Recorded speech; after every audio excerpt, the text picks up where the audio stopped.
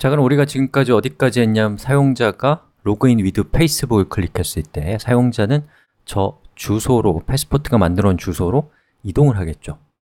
자, 그때에 만약에 로그인 되어 있지 않다면 페이스북, 즉 리소스 서버는 사용자에게 로그인하라고 할 겁니다.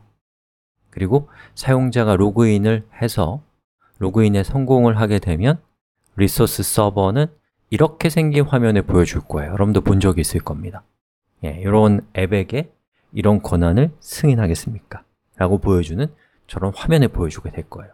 자, 그러면 승인을 하면 그 다음 절차가 진행이 되겠죠. 자, 그럼 승인 버튼을 사용자가 클릭했다면 예, 그걸 이제 승인했다라는 것이 리소스 서버에게 가게 될 거고요. 그럼 이제 리소스 서버는 아, user ID 1번은 어, scope B와 C에 대해서 어, client ID 1번에게 승인하고 있구나 그러면 정말 저 client 1번이 client 1번이 맞을까?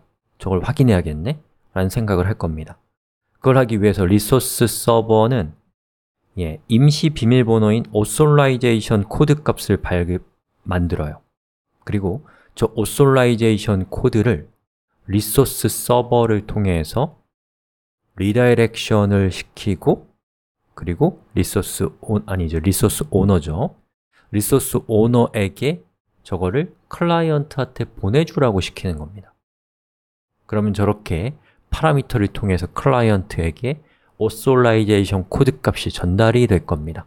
그러면 client도 resource server와 똑같은 authorization 코드 값을 갖게 될 거예요. 자, 그러면 이제 우리가 이제 해야 될 건 뭐냐면 리소스 서버가 authorization 코드를 client에게 전송할 건데 client가 어떤 URL을 통해서 그 정보를 수신받을까 라는 것을 구현하고 그리고 리소스 서버에게 알려줘야 돼요. 바로 그 정보가 redirect URL입니다. 자, 그러면 그거는 이제 어떻게 해야 되냐면 이 패스포트 상에서는 바로 이 부분이에요. 자, 이거 일단 카피해서 붙여넣기 합시다. 음, 이렇게 생겼거든요. 즉, 우리 애플리케이션에 오스 페이스북 콜백으로 들어오게 되면 패스포트가 알아서 동작해서 그 다음 처리를, 그 다음 작업들을 알아서 해줘요. 상당히 복잡한 일인데. 그래서 성공했으면 루트로 보내버리고요. 실패했으면 어, 로그인 페이지로 보내는 거죠. 우리는 오스 로그인으로 보냅시다. 자, 됐나요?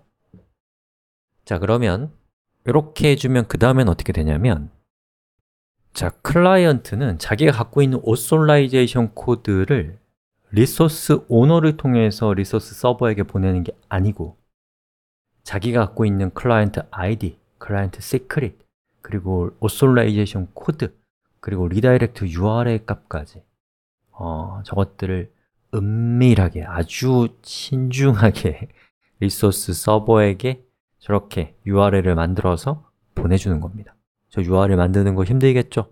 그리고 resource 서버한테 보내는 것도 쉽지 않겠죠?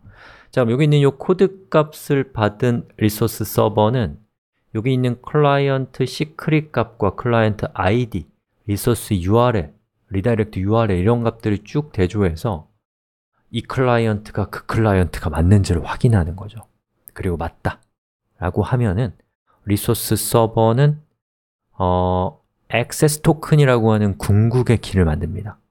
그리고 그 키를 리, 클라이언트에게 응답해 주는 거예요. 액세스 토큰은 예를 들면 4다 이렇게. 그럼 클라이언트는 액세스 토큰을 자신의 파일이나 데이터베이스에 기록해 놓게 되는 것입니다.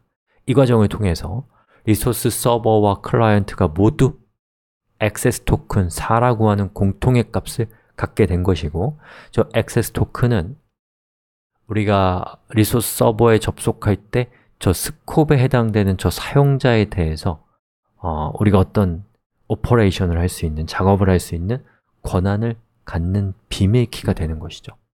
자, 그럼 이제 클라이언트는 resource 서버에게 다시 API를 통해서 요청합니다. 뭘 요청하냐면 어, 이 resource 오너의 resource 서버 상에서의 ID, 또 프로필 정보 이런 거를 요청하는 거예요. 그러면 응답을 해주겠죠.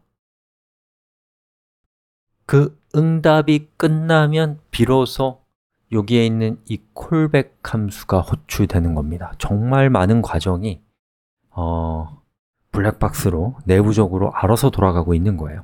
자, 그럼 요거 확인하는 것까지만 해봅시다.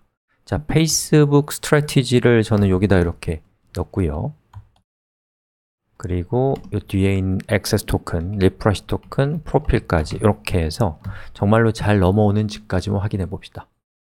자, 여기에서 Login with Facebook을 클릭하면 안전하지 않은 로그인이 차단됨 이라고 나오는 것은 우리가 어, 여기에다가 제대로 된 이 주소를 안 넣은 거죠. 자, localhost 300 auth facebook callback. 그리고 이 주소 그대로를 카피해서 음, 자, 여기. 페이스북 로그인으로 가셔서 설정. 그 다음 여기 유효한 OAuth redirection URL에다가 저걸 붙여넣기 하고 저장을 합니다 자, 됐어요. 다시 한번 해봅시다.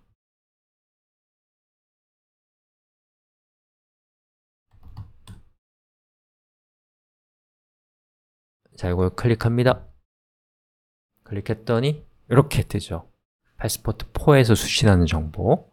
자, 고은님으로 계속 클릭하면 어, 우리의 애플리케이션으로 다시 돌아와야 되고요 다시 돌아온 다음에 어떻게 돼요? 여기 나오죠. Facebook Strategy. 여기 있는 요 값이 액세스 토큰이고 그리고 어, refresh 토큰은 페이스북은 없을 거예요 아마. 자, 그 다음에 여기 있는 요 정보가 페이스북의 아이디? 뭐 기타 등등의 프로필 정보들이 잘 들어온 것을 볼 수가 있습니다. 여기까지